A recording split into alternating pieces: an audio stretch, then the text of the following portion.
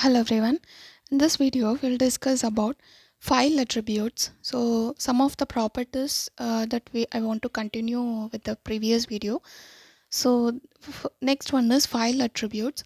So in addition to the file name and the content whatever we have in the file, we also uh, need to include some other properties of the file such as which means some other information about the file such as date and time and wh- when that file has been created and when it has been modified recently.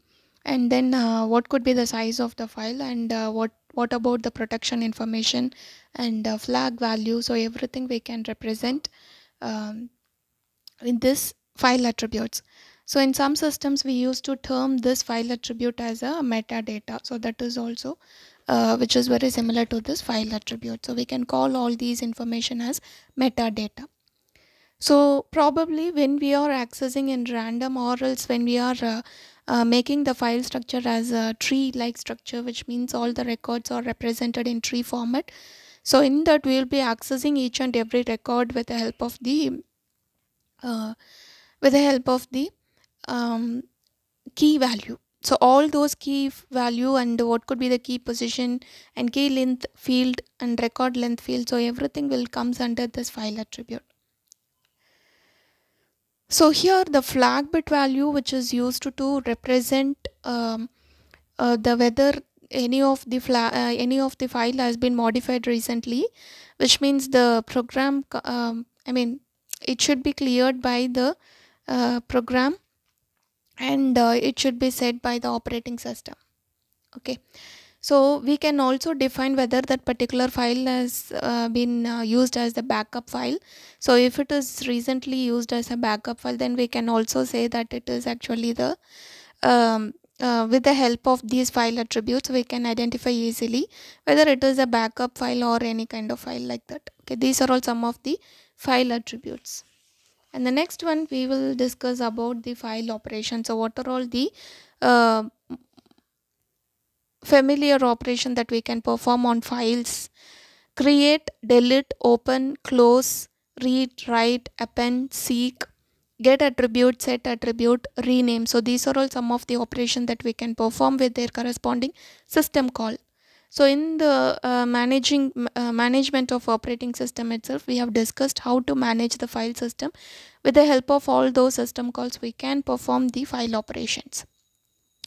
So correspondingly for all these operations we have some set of system calls. So we know already what is these are all very basic operation that we can perform on files. So uh, for creation of the files we need to use the system called create. And whenever the file operation has been done and if you want to remove this file from the system then you can go with this system call that is delete.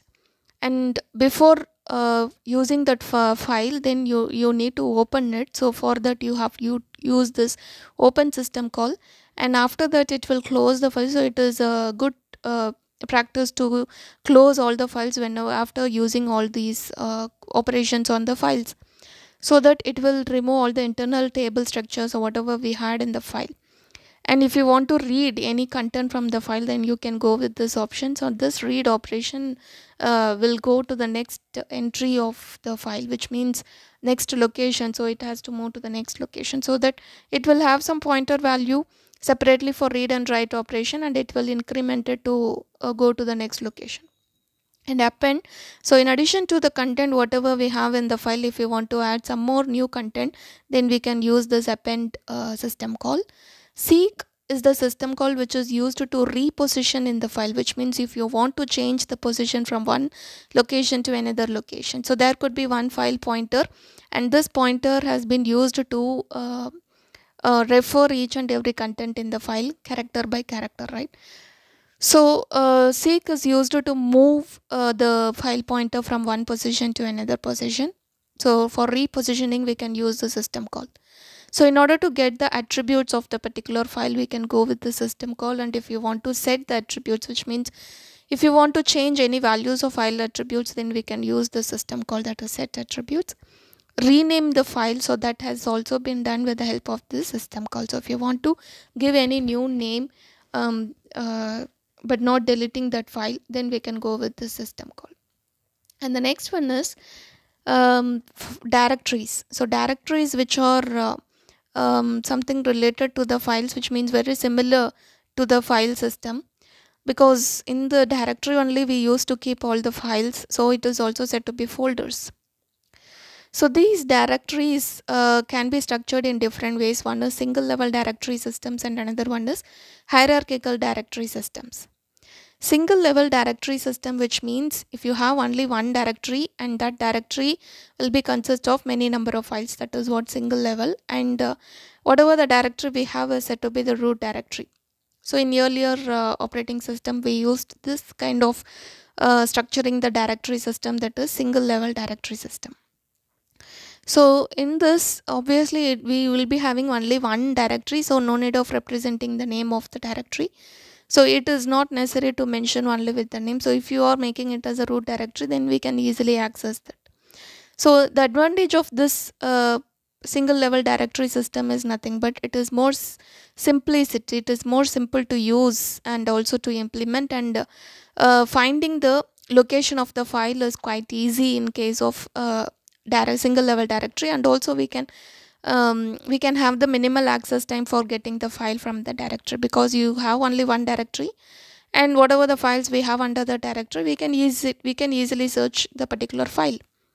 Going to the next is kind of structure of the directory which is nothing but uh, hierarchical directory system so in this hierarchical so we can have many different levels of uh, defining all the directories and also we have many levels of directory so we don't have only one directory because if you are uh, going to work with the multi multiple files which means if you are going to work with a huge number of file system then obviously it is not enough to uh, represent only one directory. So you need to uh, extend some more levels in the directory structure which is nothing but hierarchical directory system. So you can have many different levels and in that levels we will be having the subdirectories also.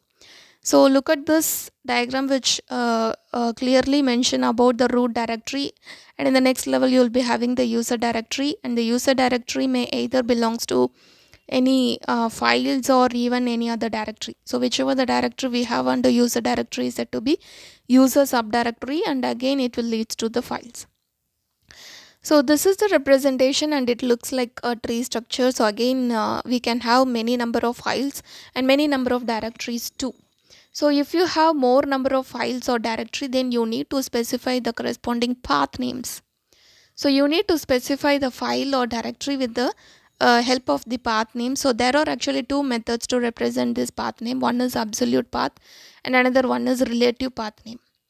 Absolute path is nothing but whenever you want to represent any of the file, you need to represent the path name uh, right from the root directory.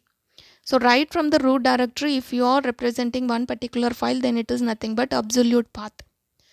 Suppose if you uh, no need to mention the root directory, so whichever the directory you are working currently from the directory or else you can, uh, it is enough to mention only the file name which is nothing but relative path. So on comparing these two path names, the relative path is quite easy to use than the absolute path because absolute means you have to mention everything, each and everything starting from the root directory whereas relative path. So it is enough to keep the only the file name or or else to which directory it belongs to. Either it could be a user subdirectory or it could be a user directory. So it is not necessary to give all the entire path uh, starting from the root directory. So that is what relative path name. So many of the operating system will support only the absolute but nowadays it is support it is all the operating system are supporting this relative path names and the next one is finally, so I'd like to explain about the directory operations. So what are all the directory operations? Similar to the files, we can also have some directory related operations and all those operations can be done with the help of the system calls.